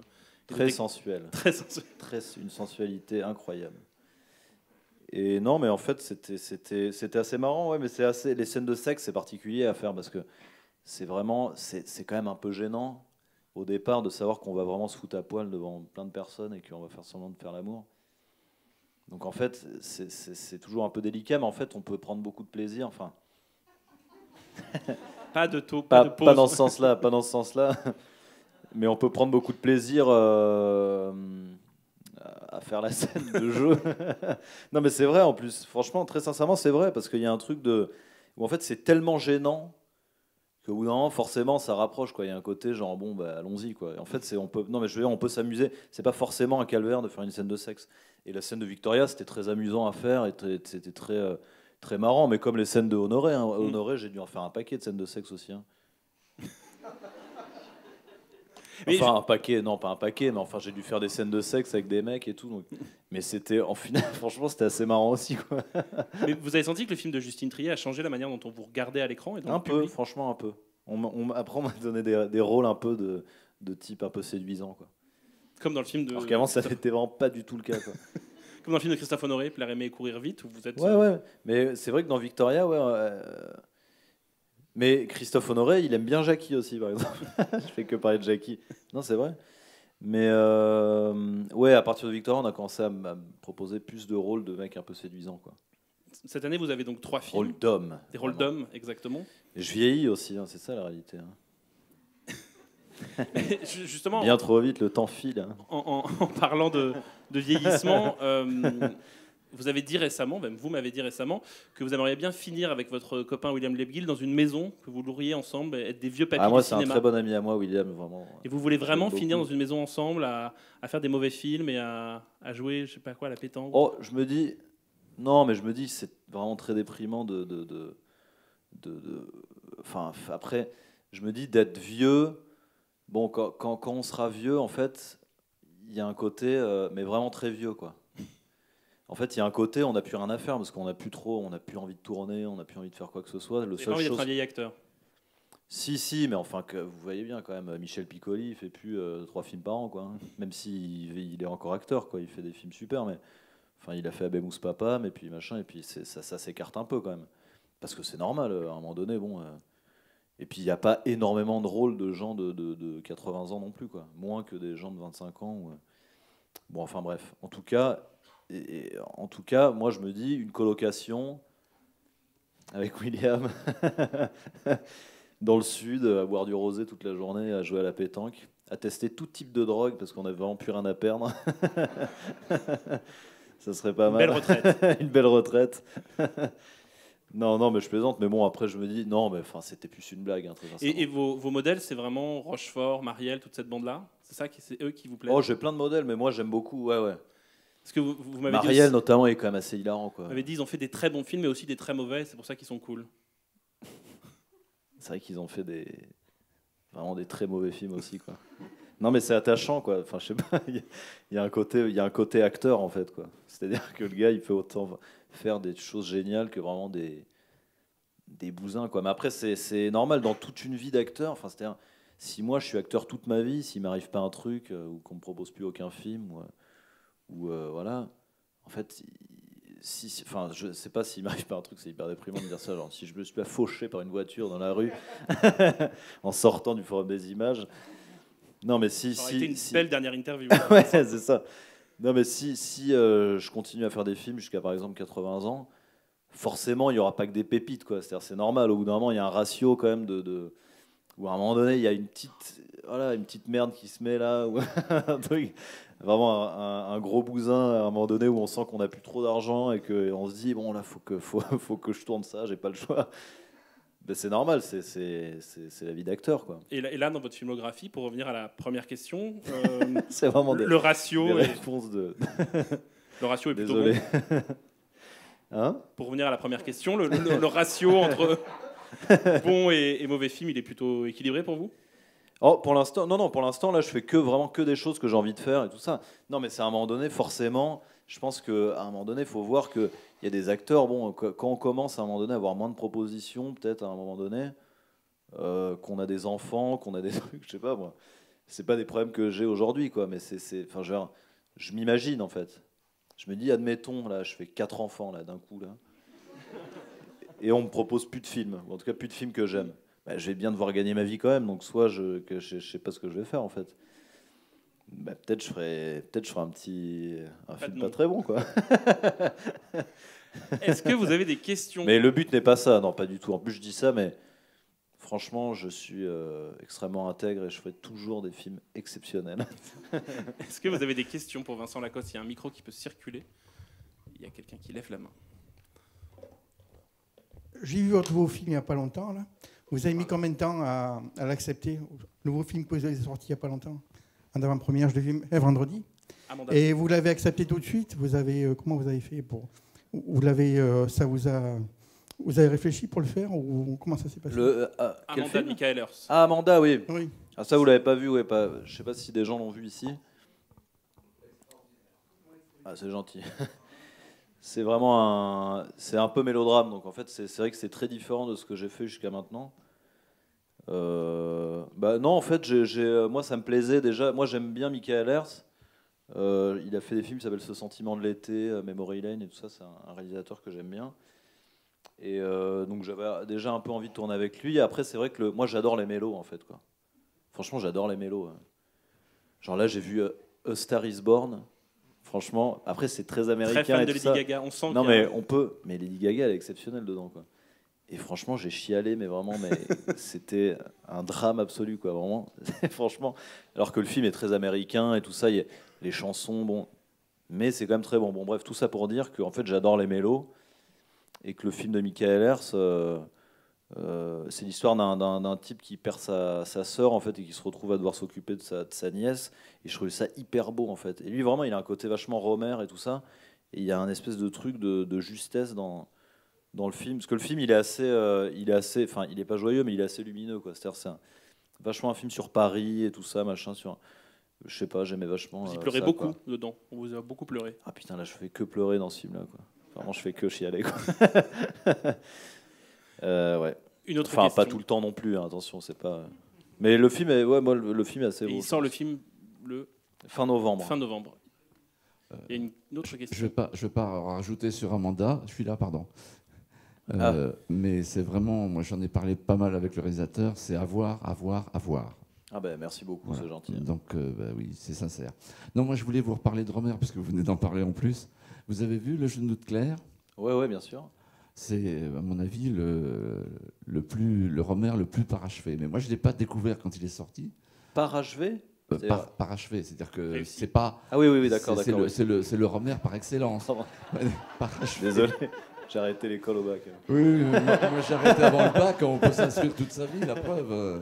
Non, non, mais je vous invite à. J'aime bien le genou de Claire, moi, ouais, mais c'est pas, c'est pas mon, c'est pas mon. J'ai pas fini ma question, pardon, pardon. pardon. Désolé. désolé. Chacun son rôle. Vous Ouais, avez fait désolé, l'acteur avant, maintenant je fais le spectateur cinéphile. Merci. Je pensais que c'était un débat Romer. Non, non, non, moi j'ai découvert Romer parce que. bah, je- bah, non, mais il, il a une importance pour vous et je vous comprends très bien. Moi, je, évidemment, le. le- enfin, j'ai perdu mon Le rayon vert. Merci beaucoup. euh, euh, le rayon vert, oui, est, est vraiment un film extraordinaire. Mais c'est inclassable. Alors que le genou de Claire, il est quand même dans une continuité. Les acteurs, Jean-Claude Brialy, les débuts de Lucchini, etc. Il y a, il y a quelque chose d'é- d'énorme. Et en plus, j'ai appris des anecdotes quelque temps avant la mort de Romer. Euh, bah, puisque j'y suis là-dessus, je vais partir là-dessus, mais ce n'était pas ma question de départ. Euh, Peut-être on peut aller dans la question. C'est qu'il a arrêté, il, a- il- il tournait toujours dans les endroits où il situait son histoire. Là, en l'occurrence, c'est en Haute-Savoie. Il avait besoin, euh, ils étaient en train de tourner, je crois, en hiver, en janvier-février. Il avait besoin, euh, dans son histoire, d'un euh, d'un plan de fraises en fleurs, de fraisiers en fleurs dans le jardin. Il a arrêté le tournage, je ne sais plus combien de semaines, pour qu'il y ait les, les fraisiers, euh, il les a fait replanter par un horticulteur, pour qu'il y ait le plan avec les fraisiers en fleurs. Je trouve ça époustouflant. Je veux dire, on peut Ah, parler, bah, on peut parler des maquettes. En tant que cinéphile, on peut parler des maquettes euh, de d'Hitchcock euh, qui sont aussi très étonnantes pour l'époque, ou de, ou de, en France, euh, Claude Autant-Lara qui a fait des trucs extraordinaires aussi dans le genre maquette. Mais là, euh, pour un film réaliste, euh, Romer, j'ai appris ça. Moi, je suis resté comme de rond de flanc. quoi. Je l'avais pas vu dans le film à ce moment-là. Bref. Bah ouais, Bon, ouais, on est- ouais, bon, ouais. mon- ma question sur Romer, c'est que moi j'ai découvert Romer par les, euh, ce que vous appeliez les films plus populaires, enfin plus, qui ont fait plus d'entrées dans les années 80. Euh, C'était les, les- les contes, euh, etc. Ouais, les contes moraux. ça, ouais. Oui, les contes moraux, et puis il y a eu le- le- le- les, les saisons aussi. Enfin bref, euh, tous ces films euh, où, où le, où les, comment, euh, les Nuits de la pleine lune, qui s'incluent après dans les, dans les saisons. C'est-à-dire qu'il n'a pas fait au départ des séries de films. Il a, je crois qu'il a commencé par les. Mais comme il y avait un film nouveau tous les trois mois ou tous les six mois, on avait de quoi s'y perdre quoi, au bout d'un moment. Parce qu'il faisait les deux séries en même temps, quoi, en alternant selon comme il pouvait tourner ou pas. Enfin, c'est compliqué, bref, pardon. Il y a Spécialiste de Romer. Mais, mais non, mais le problème, c'est qu'ils ne se suivent pas. On retrouve parfois des acteurs, des personnages, Ah, mais qu'en même temps, il y y a une continuité dans le style Romer. C'est-à-dire que même si les histoires sont différentes à chaque fois, on est touché parce que c'est comme du quotidien, mais. Pardon? Bah, je lui explique Romer, il en a vu que deux ou trois, alors moi j'en ai vu une dizaine. Alors, est-ce qu'il y a une question J'exagère, j'exagère, pardon. Non, non, mais je comprends votre attachement à Romer. C'est, un cinéaste à redécouvrir. Mais heureusement, on a quand même des bons réalisateurs aujourd'hui, comme on parlait d'A- d'Amanda. c'est un compliment, Euh, question. oui, Bah, oui, bien bah, sûr, bah, bien sûr. C'est pour, tout ça pour vous dire que j'aime beaucoup ce que vous faites. Bah, les bons. Voilà. les moins bons, les bons, les moins bons. Merci Mais- pour cette très très longue. euh, C'était je ne pas sais une pas. question. Il y avait une J'aurais question. peut-être une question plus tard, Ah, pardon. ah, Est-ce que vous avez une vraie Pas de question souci. J'ai j'ai une question, oui. Euh, Mettez bien un point d'interrogation. hein. Il y, a- il y a un point d'interrogation. Bonsoir Vincent. Euh, je voulais savoir justement par rapport à Amanda si ta préparation avait été différente de tes autres films. Enfin, comment tu t'étais préparé, voilà.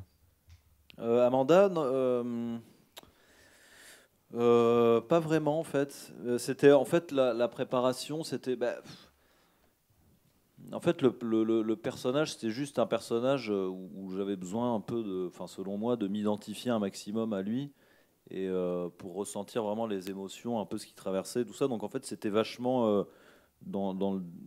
en parler avec Michael et après sur l'instant aussi, quoi. Parce qu'en fait, c'était vachement. Il y a beaucoup de scènes d'émotion et tout. En fait, préparer vraiment une scène d'émotion, à part si on, on peut se préparer, on peut regarder des films, on peut. Mais je pense que c'est plutôt de la pensée, en fait, penser à se mettre à la place de quelqu'un, en fait, quoi.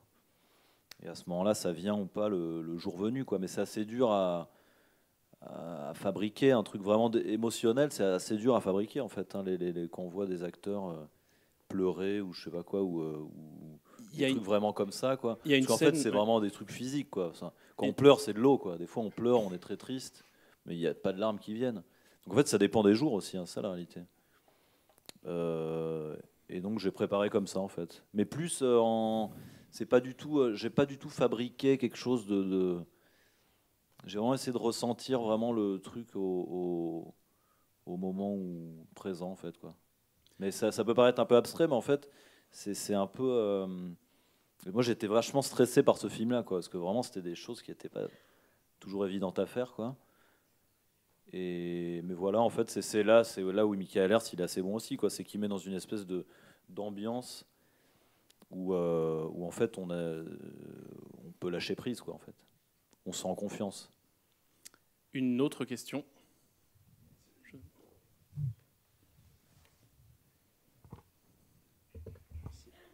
Bonsoir Vincent. Bonsoir. J'aime beaucoup ce que tu fais. Euh, C'est bien. Et je voulais juste te demander, euh, dans Victoria, est-ce que tu as parlé avec Melville euh, de Romer du coup? Bah bien sûr. Ah, ouais, on y revient. demander, Bien sûr, bien sûr. Ah non, je vais pas faire la même chose, je pose la question si c'était Bien cool. sûr, bien sûr, je vais demander. Bah non, mais Melville Poupeau. Hein, pour- Melville, euh, bah ouais, mais il a, lui, par moi, j'aime beaucoup Melville déjà parce que il, il- vraiment, il a, il a, il a une filmographie en fait que déjà il a travaillé avec des gens géniaux, je trouve, avec- que ce soit avec Raoul Ruiz ou avec euh, bah, Romer, Desplechin. Enfin, il a fait plein de réalisateurs que j'aime vachement. Et en fait, il, il a, il a un espèce de truc de, d'intégrité totale à suivre euh, le cinéma qui- qu'il a décidé de défendre et, euh, et ce que je trouve euh, génial quoi. Après Romer, il m'en a parlé parce qu'il a fait Conte d'été quand même, qui est un des Romer les plus les, les plus connus. Euh, non, il a pas fait Pauline à la plage. Attention, hein. Ça sent la bataille Romer. la baston Romer, quoi. Euh, Il y a qu'au Forum des images que ça arrive. quoi. Et on en a parlé. Après, il, après, il me disait que c'était assez marrant, quoi. C'est qu'il c'était hyper précis dans les dialogues, qu'il avait, euh, il avait le conte d'été, c'est hallucinant. Moi, c'est ça qui m'a halluciné quand j'ai vu conte d'été, c'est que vraiment, c'est des dialogues de 15 minutes sans s'arrêter, quoi. Vraiment une discussion de 1h30. Donc, je trouve ça assez génial. Après, il m'a pas, on en a parlé, mais il m'a pas vraiment parlé de comment il était, tout ça. Je crois que c'était quelqu'un d'extrêmement érudit, quoi. Et vraiment qui n'était pas un, un nightclubber. C'est-à-dire vraiment, il, lisait beaucoup et, voilà, quoi. Mais il tournait tout le temps, en fait, ça la réalité. hein. Il avait tout le temps une équipe un peu de, de 10 ou 15 personnes et il était en permanence en train, en train de tourner, quoi. Et c'est assez marrant le truc du fraisier parce que je pense que. Non, mais mine de rien, en fait, le truc du fraisier, ça raconte quelque chose sur la manière de fabriquer les films. C'est-à-dire que Romer, il fabriquait les films, mais je pense qu'il y avait vraiment aucune pression, quoi. C'est-à-dire c'était 10 gars dans un coin, quoi. Enfin, 10 personnes dans un coin, en train de fabriquer un film, et ensuite ils sortent. Ensuite, ils en refont un, quoi. C'est-à-dire, c'est vraiment un espèce de truc comme un truc d'artisan, quoi. Voilà. Merci. Autre question. Je ne sais pas où est le micro. Celui qui a le micro peut prendre la parole. Euh, comme vous avez dit que vous étiez super timide et tout, est-ce que après dans les beaux gosses, les... après avoir tourné les beaux gosses, par exemple les scènes de, de branlette et tout, ça vous a pas fait peur par rapport au regard des autres? Ça vous a pas crispé et tout? Euh, bah ouais, bien sûr. Après, c'est ça, là. c'est ça qui est un peu bizarre. euh. Maintenant, je suis moins timide, je pense, mais mais en fait, c'est ça qui est c'est ça qui est un peu bizarre en fait quand on fait un film comme ça, c'est que c'est une comédie, mais en fait, les gens, quand on est dans un lycée, euh, qu'on a 15 ans, quoi, il y a une forme de, c'est-à-dire l'école quand même, c'est un milieu cruel, quoi. Le collège, le lycée, c'est un endroit où il y, a les, il y a les gens considérés comme beaux, les gens considérés comme moches, les gens qui réussissent à l'école, les gens qui sont nuls, les cancres. En fait, tout est vachement répertorié, quoi. Du coup, moi, j'avais très concrètement peur d'être dans la case du gars, euh, bah, du gars vraiment nul, quoi. C'est-à-dire qui se branle devant tout le monde, en fait, quoi. Du gars un peu porc, quoi. Et en fait, euh, non, mais même si c'était dans un film, en fait, c'est assez abstrait parce que la réalité, c'est que, les, que quand j'ai fait les beaux gosses après et que j'étais en cours, euh, normalement, faire un film, c'est classe, quoi. C'est-à-dire, euh, moi, je suis copain avec Félix Moati qui est dans LOL. Lui, c'était classe, quoi. Un LOL à l'époque. Ça a fait 3 millions d'entrées. C'était classe. Très concrètement, c'était classe. Peu de branlettes dans LOL, effectivement. peu de branlettes dans LOL, peu de, peu de boutons, peu de. Mm. Voilà, plutôt une ambiance un peu rock'n'roll, euh, un peu cool. Ce que dans les beaux gosses, pas vraiment. Donc en fait, c'est. Après, moi, je- trouve que ça va au-delà de ça. Moi, c'est ça que j'aime dans les, dans les films, en fait. C'est qu'après, à un moment donné, je me suis pas posé la question aussi. quoi. C'est que si, si je me pose la question de ça, à ce moment-là, personne ne fait ça. quoi. C'est-à-dire, euh, j'ai qu'à faire un autre truc euh, de ma vie. Forcément, il faut apprendre euh, à être ridicule parfois aussi. quoi. Et moi, en fait, j'aime bien être ridicule euh, parfois. En fait, c'est ça. la- Je déteste les gens qui se prennent au sérieux. En fait, donc je préfère être ridicule ça, que, que je préfère être ridicule que euh, que me prendre au sérieux, quoi. En fait. Voilà. Ah là, Bien- ça bien c'est de la envoyé. punchline. Une autre question. Là, par là, Vincent. Bonjour. Euh, Bonjour. Alors, moi, ma question, c'était par rapport au fait qu'il y a beaucoup de comédiens qui, suite au tournage, après, ils portent un intérêt à la réalisation ou à l'écriture. Et c'était pour savoir si toi, c'était un truc qui te tentait ou qui te pourrait possiblement te tenter plus tard, ou si vraiment c'est le métier d'acteur euh, exclusivement. Sachant que vous êtes bientôt à l'affiche du premier film de Félix Moati. Ouais, bien sûr, en février. Euh, bah, en fait, pas vraiment, non. Enfin, je, je- enfin, moi, j'aime beaucoup le cinéma et tout ça, et, mais la réalisation, en fait, euh, en fait, j'ai l'impression qu'il y a comme une obligation euh, quand on est acteur à devenir réalisateur à un moment donné. En tout cas, il y a énormément d'acteurs qui le font. Et en fait, rien que pour ça, j'ai envie de pas le faire, quoi. Je sais pas comment dire, mais Mais non, mais en fait, il y a- il y a- il y a- j'ai l'impression que quand on est acteur, on est obligé d'être réalisateur après, alors que pas du tout, en fait. Moi, les acteurs que j'admire le plus, euh, en fait, ils n'ont pas fait de film après, quoi. Ils n'ont pas été réalisateurs. euh. Genre, euh, Bill Murray n'a pas fait de film, Marcelo Mastroianni n'a pas fait de film, Gérard Depardieu n'a pas fait de film. James Stewart. James Stewart, il n'a pas fait de film, en fait. Donc, je préfère rester un acteur et essayer de, de devenir vraiment extrêmement bon. vraiment le un acteur vraiment légendaire. Plutôt que de, Mais après, je peut-être un jour, mais en fait, c'est plus un truc. En fait, j'ai j'ai comme l'impression, mais en, en fait, c'est vrai que j'ai l'impression qu'il y a comme une obligation, comme si c'était pas assez bien d'être acteur. Et juste pour ça, j'ai envie de juste être acteur, en fait. Une autre question, je crois, c'est par là. Bonsoir. Bonsoir. Euh, je voulais savoir, en fait, euh, Riyad Satouf récemment euh, pour la presse de l'Arabe du futur avait expliqué que l'échec de Jackie, que j'aime beaucoup, l'avait un peu gentil. dégoûté de, de faire du, du cinéma. Et à votre avis, qu'est-ce qui pourrait le, le convaincre de revenir et qu'est-ce qu'il pourrait faire pour que vous puissiez faire un, Oh, troisième va- film ensemble? Bien sûr, bien sûr. Mais il va revenir, il va, faire un- il va refaire un film, mais pas tout de suite. Là, il fait l'Arabe du futur. Donc il en reste peut-être un ou deux, en fait. Et, euh, enfin, jusqu'à jusqu'à preuve du contraire. hein, euh, et ensuite, il refera des films. Mais je pense qu'il y a. En fait, l'Arabe du, futur est sorti la même année que Jackie, en fait. Le premier. Donc en fait, il y a eu un moment donné où, euh, où il a fait cette BD. Et la BD, très concrètement, est exceptionnelle. Quoi, en fait. C'est un truc très très important pour lui et dans sa vie et tout ça. En fait. Donc, euh, donc en fait, il a continué là-dedans maintenant. Mais ça ne veut pas dire qu'il ne refera pas des films. Mais en fait, ça lui prend vachement de temps. Quoi. Parce qu'il fait les cahiers d'Esther aussi. Mais ça, il en fait une, fois par se- une, une planche par semaine dans l'Obs. Mais l'Arabe du futur, là, le dernier, il fait, il fait, euh, il fait euh, 300 pages. hein. donc euh, c'est vraiment... C'est plus une ça- question de ça temps prend- qu'une question d'envie. non, je pense qu'il y a- il je pense qu'à un moment donné, il avait besoin aussi de, de, de se remettre à la BD parce que, parce que Jackie, mine de rien, c'était décevant pour lui. quoi. C'était décevant pour tout le monde parce que c'est forcément quand on fait un film, le film il a coûté cher déjà et, euh, et il a fait aucune entrée, donc en fait c'est forcément un peu décevant. Après, il, il s'y remettra quoi. Il s'y remettra, mais et puis avec moi, bien évidemment, il n'a pas le choix. Ça. Il y a une dernière question, je ne sais pas où est le- mademoiselle qui est tout devant. Euh, moi, je voulais parler de première année, euh, que j'ai trouvé très réaliste au niveau euh, de, du déroulement de la PACES.